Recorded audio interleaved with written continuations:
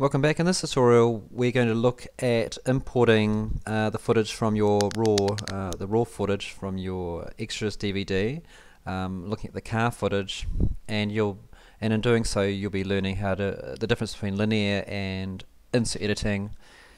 We will also look at uh, removing audio from a clip and we'll do a few more things. So first of all we're going to go to File, Import and I'm just going to select all the car footage and press open. Okay. Now there'll be a storyboard that is in your extras disk with your raw footage and this is what the storyboard looks like. So basically we've got um, a gentleman opening his garage finding his keys walking towards his car getting in his car starting his car his car leaves the garage Right, so it's some really good practice material here for us to learn the basics of um, editing in Premiere. So in the first tutorial, we very, very briefly looked at uh, linear editing and insert editing. So we're going to do a little bit of linear editing and then a little bit of uh, insert editing. And you'll see why uh, insert editing is has, has more control than linear editing. But uh, pretty much, it's a personal preference on which one you want to do. So let's um, look at the first one. We want to look at opening the door. So with linear editing, you can just drag these clips right in like this. I'm just going to zoom in here. And um, one thing about this tutorial is that the microphone uh, is really dominating this uh, most of these tutorials, so you you won't hear the sound um, uh, from the the computer speakers that well. So I apologize for that.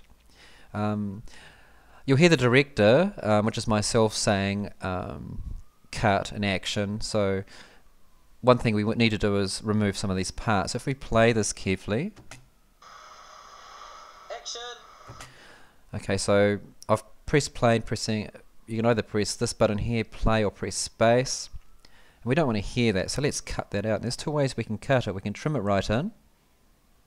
Alright, and now it's gone, so if we just play that now, press space.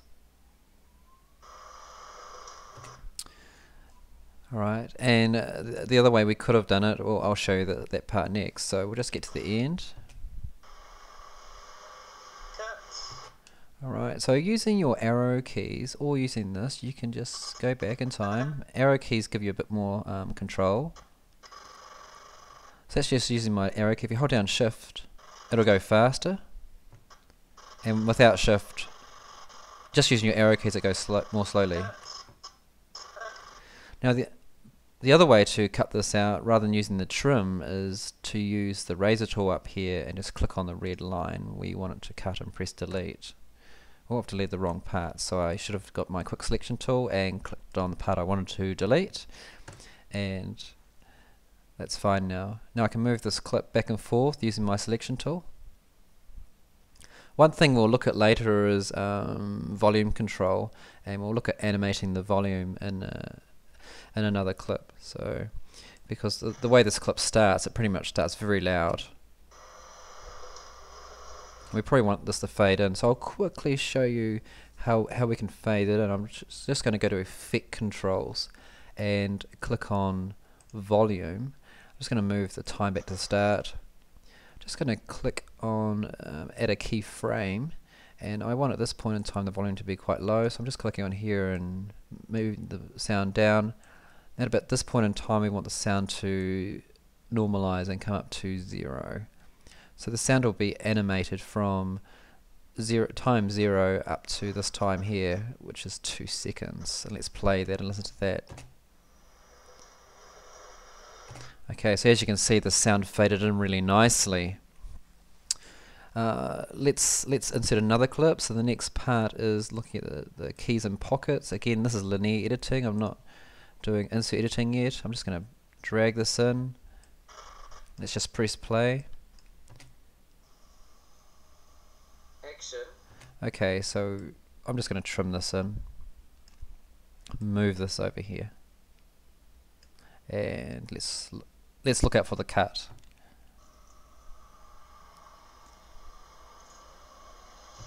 Don't think there was a cut in this part, but let's trim this back. A little bit of dead space there. Now let's just play, look between the clips and see if there's a change in sound as well. So you notice there was a bit of a change in sound there. I'm just going to add a crossfade in there. So if I go to audio effects, sorry, audio transitions and open crossfade, and I'm just dragging constant power and drag that down to the audio layer. And this will this will keep the the amount of noise constant. It's almost like a, it's an audio transition. Let's play that and listen to this.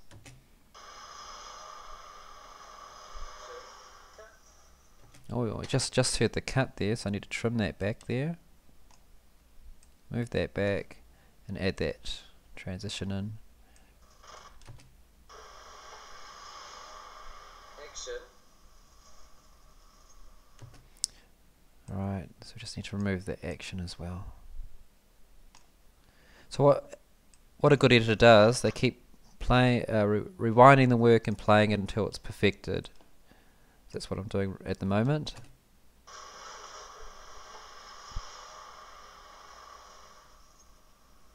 So we can't hear the director saying cut or action now, and we've got a nice constant crossfade here. Okay, let's look at insert editing.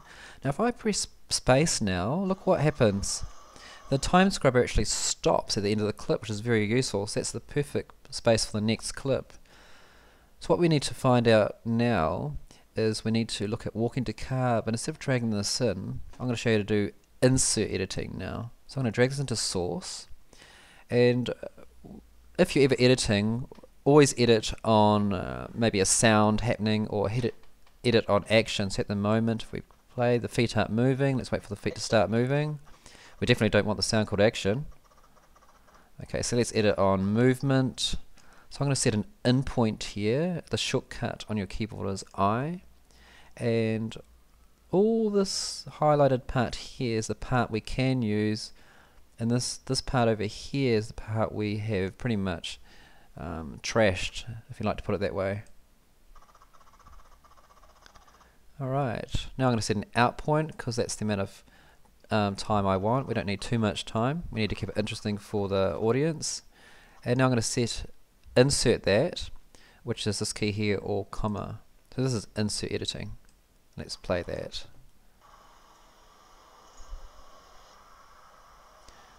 Alright, again, I'm just going to add a constant power in there.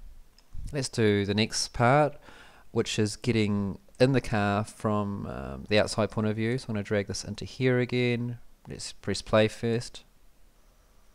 Action. And let's wait for movement. Let's set an in point there. And let's just wait until the gentleman's foot is down here because we've actually shot this same shot again but from the inside point of view and I want to show you um, what some smooth editing um, looks like. So I'm going to set an out point there as the gentleman's foot hits uh, hits the floorboard with his left foot and I'm going to set an in point there. So I'm going to insert this now. So I've got set an in point here, out point here. Um, so it's basically I, O, and comma or insert. Alright, let's get to the next part. So the inside angle view. So let's just scroll across. We know what we're looking for now. So I want the foot to hit there. Alright, again for finer control you can use your your keys. The foot's hit there, so let's set an in, in point there and let's set it okay we've got the car door so let's let's set an out point on that little audio audio cue which is the car door closing. Okay again let's add and let's have a look at that sequence so far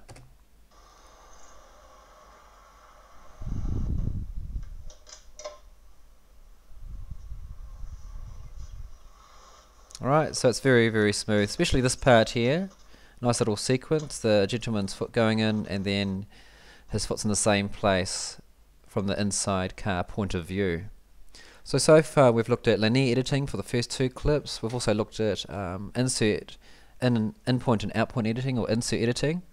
Um, and we've looked at um, adding a constant power, which is one of the which is under the crossfade menu in the effects panel to keep the audio level the same.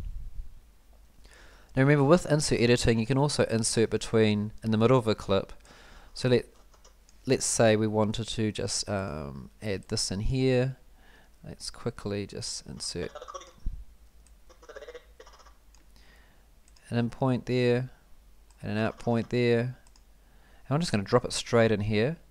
And what this does it it separates the two clips on either side but does not um, uh, cut any of it out, the clips either side, the getting and uh, from both point of views. Let's undo that. In contrast, what the overlay will do, it'll overlay it and it will go over part of the clip. So you've got insert, which will um, move the two clips either side, and then you've got overlay, which will actually go straight over um, the clips that are down here in the timeline.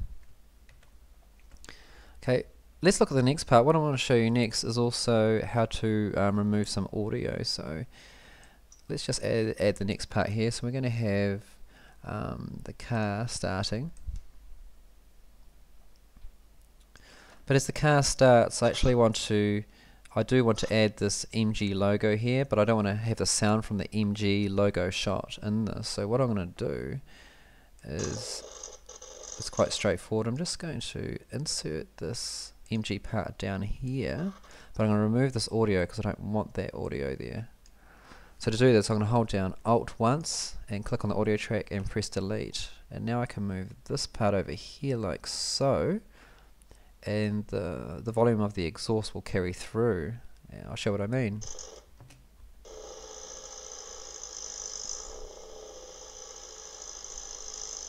Okay, so we've still got the volume carrying carrying through there. Alright, I hope I hope you've enjoyed this tutorial. I'll see you in the next tutorial.